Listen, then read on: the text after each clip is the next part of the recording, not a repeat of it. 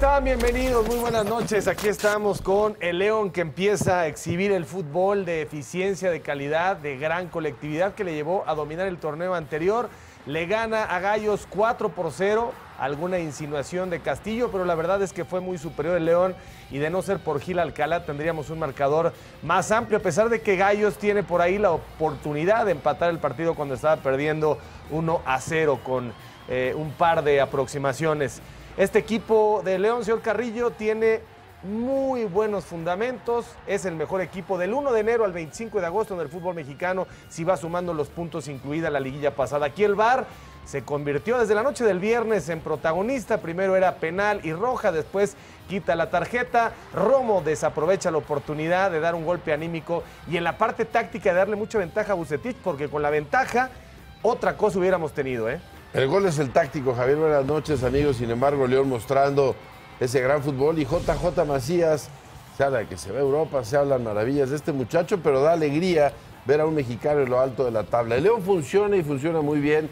Nacho Ambriz sabe su negocio, sus jugadores están enganchados y qué bien juega. Pero Querétaro me parece merecía más en el partido, a pesar de que en el segundo tiempo León empezó a rugir y hacer un partido muy a favor. Es que se tuvo que abrir, se tuvo que abrir Bucetich con el 1 por 0 en la segunda parte, dijo vamos a romper el partido, el medio campo dejó de ser ocupado y los dos equipos tuvieron ocasiones, pero obviamente el León fue inclinando la balanza porque el León tiene un trabajo colectivo de mucho tiempo. Bucetich acaba de llegar y lo de Nacho Ambriz ya está rodado. Gran servicio el Chapito Montes y qué me dicen lo que hace Ángel Mena, que pone una pelota espectacular para Macías en el primer gol y después aquí levanta la pelota sobre la salida de Gil Alcalá. ¿Cómo estás, Pepe? ¿Qué tal, Javier, Caro, Pablo, a toda la gente que nos acompaña? Partidazo de Ángel Mena, de JJ Macías, también del Chapito Montes y Joel Campbell que ingresa en la segunda parte, participa en las últimas dos anotaciones. Este es un pase magistral y por supuesto Fernando Navarro que sigue siendo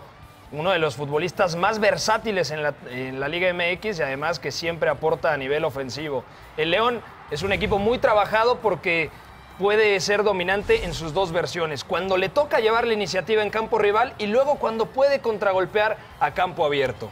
Golazo este también. El Querétaro, Caro Weigen, había recibido solamente dos goles hasta ahora y bueno, pues insistimos por esta circunstancia de abrirse un poco, de exponerse, recibió cuatro. Aquí están los mejores equipos del campeonato. Este y la suma de lo que pasó en el anterior. Y vean lo que ocurre. El León, 61 puntos del 1 de enero al 25 de agosto.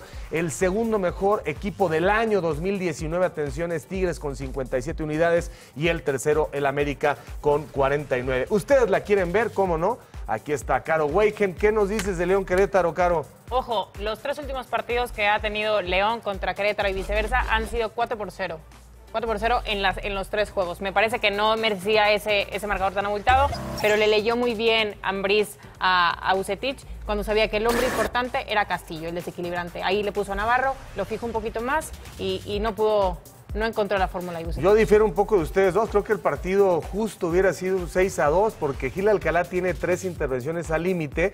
Efectivamente pone dos pelotas a los postes el equipo de Gallos más el penal fallado por Romo. Pero sí creo que la diferencia al final sobre cuatro o tres goles es lo justo para los méritos de ambos. El tema también era, marcaba un gol el León y era muy difícil que Querétaro reaccionara porque le cuesta mucho ese escenario. Querétaro se siente más cómodo cuando puede atacar de manera vertical y es el equipo que puede contragolpear. Pero asumió riesgos Lucetich y los tenía que asumir por el marcador en contra y parece que eso todavía no lo tienen muy bien trabajado porque tomaron muy mal parado a Querétaro atrás cuando con gran velocidad desplegaba el equipo de León, pero me parece que Bucetich está siendo un hombre que nos demuestra una faceta que no le conocíamos. El hombre quiere hacer cada vez más cosas distintas y no está siguiendo exageradamente un orden. El hombre está moviendo sus piezas y me parece que le va a dar resultado tarde que temprano. Resintiendo mucho la ausencia, me parece, de Aqueloba, Gil Alcalá en un gran momento. Yo creo para terminar, irnos al partido de las Chivas, que el León va a terminar entre los primeros tres de la tabla general y Gallos va a clasificar entre el quinto y el séptimo lugar, pero van a tener liguilla en Querétaro. Adrenalina, domingos 10 pm. Participa en Imagen Televisión.